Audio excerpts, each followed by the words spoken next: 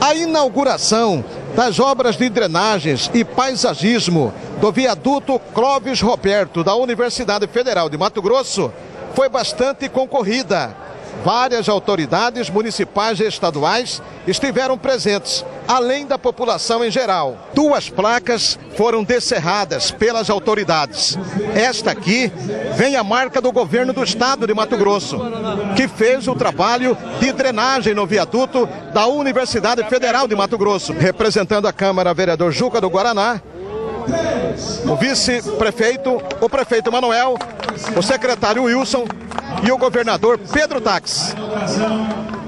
Agora, o descerramento da placa que representa a participação da Prefeitura Municipal de Cuiabá nesta obra de embelezamento e paisagismo do viaduto Clóvis Roberto da UFMT.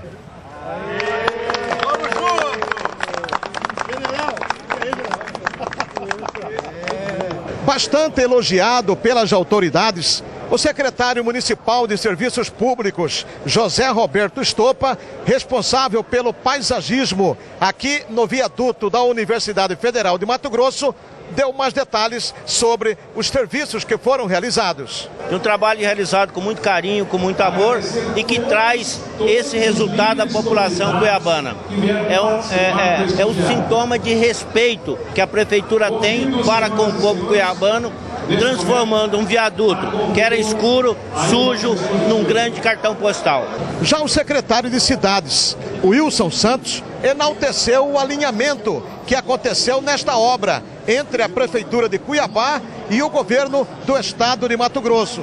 Para o secretário Wilson Santos, missão cumprida. Missão cumprida. Parabenizar aqui o governador Pedro Tax, parabenizar o prefeito Emanuel Pinheiro, que deram uma demonstração da boa política, da política com P maiúsculo. Mais do que uma obra de engenharia, mais do que uma obra de paisagismo e cultural, foi uma obra política, onde os dois gestores tiveram juízo, humildade, se uniram e fizeram de um ponto triste, lamentável de Cuiabá, transformaram-no num cartão postal. O prefeito de Cuiabá, Emanuel Pinheiro, bastante empolgado pela obra de embelezamento aqui no viaduto da Universidade Federal de Mato Grosso, também falou sobre a parceria com o governo do estado. Estabelecemos uma nova forma de trabalhar. A prefeitura não pode ficar omissa toda e qualquer obra que um particular faz no município, ele tem que ter autorização e a licença da prefeitura. Por que, que o Estado e a União podem ir entrando na cidade, rasgando avenidas, é, derrubando prédios, é, é, é, afetando a mobilidade urbana sem autorização da prefeitura? Em hipótese alguma. Cuiabá não é uma terra sem lei, é uma terra organizada, uma terra com leis, que tem lei de uso e ocupação do solo, que tem a lei de mobilidade urbana, que tem um plano diretor. Então, ninguém, nenhuma esfera, nem estadual, nem federal, federal vai entrar mexendo na cidade, como fizeram no passado, sem autorização, sem a licença, sem a parceria com a Prefeitura Municipal. Fizemos isso, o governo foi extremamente é, é, é, ativo, respeitou esse decreto, foi ativo nesse particular. Olha a maravilha, o ganho para a população. A obra foi refeita, aquilo que foi mal feito foi refeito, acabou o piscinão, acabou o prejuízo à população. E a prefeitura ainda presenteia essa cidade, valorizando os artistas locais com o embelezamento de todo o viaduto, com essa expressão de puro respeito à nossa cultura, embelezando mais ainda a nossa cidade com essas obras de arte neste viaduto, como está no despraiado e que vamos estender a todos os viadutos e trincheiras da capital. Já o governador Pedro Tax criticou a realização desta obra pelo governo Silval Barbosa.